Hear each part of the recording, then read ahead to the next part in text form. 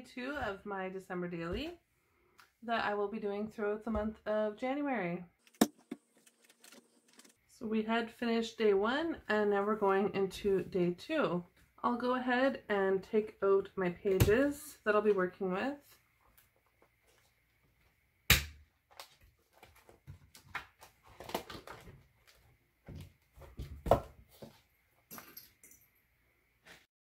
So I'll be working on the back side of day one and this side. So I have a left and a right. You'll find going forward that I do typically do a left and a right spread. And here are my photos. I typed out my journaling and these are my photos here. I found this really nice overlay. It says social distancing and I found it was the perfect overlay for this layout.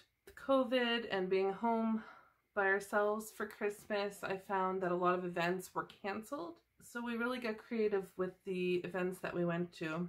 And I thought for the day two layout, it would be fun to talk about uh, the virtual events that we attended. The first virtual event that we went to was my husband's work party, and it was called a glass turkey. And basically, you bought tickets, and if your ticket was drawn, you uh, won a bottle of wine or uh, anyway, we ended up winning three different beverages. Everyone kept commenting on how lucky we were that our number kept getting drawn. So that is the journaling for this event. And the other event that I talked about was the tree lighting. Our community does a tree lighting annually. In the past, I've had a full page layout for this event, but what I did is took a picture of our TV in our living room and we watched the tree lighting live on our TV. And I thought I would show you uh, last year's tree lighting. Um, it was a two-page spread and we went on horse-drawn wagon rides and this is the tree here and we were standing under the gazebo. So that just gives you an idea of just how much this Christmas is different from last year. So I'm going to go ahead and put this video in fast forward and put this all together. I begin by taking out all of my cards. I pretty much know where I want everything to go. My journaling is on a card from Ali Edwards from last year, and I use my date stamper to put on the date. Uh, for this spread, I have two photos, and they're from two uh, virtual events that we attended.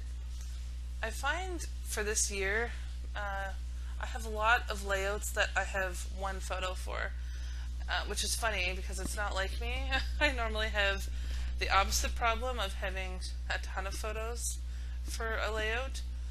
Um, so I have to get creative with a single photo spread. I looked at a bunch of different odds and ends from the kit and I couldn't quite figure out what to put in each circle. And I love that 4x6 card. I think it's beautiful as it is. Um, so, because it's dealing with uh, drinks and kind of being with one another virtually, commenting uh, virtually, uh, I just thought cheers was a good uh, phrase to put right in the center of that card.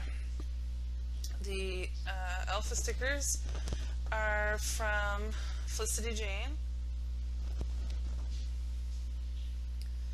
And I go ahead and take out a number two. It's a black number from Ali's kit this year. And I'm just in love with the little metallic or metal red heart. I just felt like the journaling card needed a little pop of color.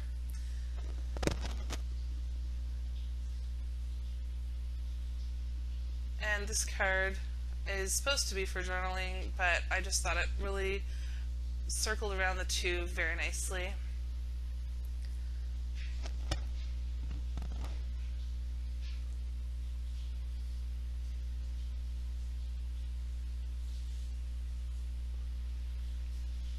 I take other bits from the kit.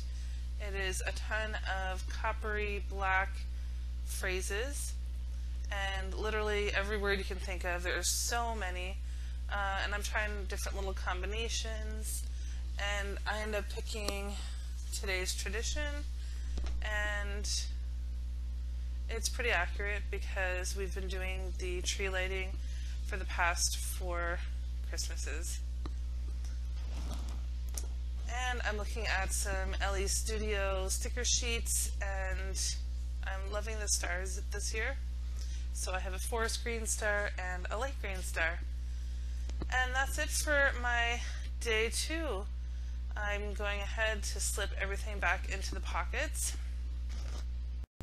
I hope to see you all back for day three and for day three I'm working on a little tag book that Ali showed how to make in her process videos and also the left side of the page. I'll see you next time. Bye.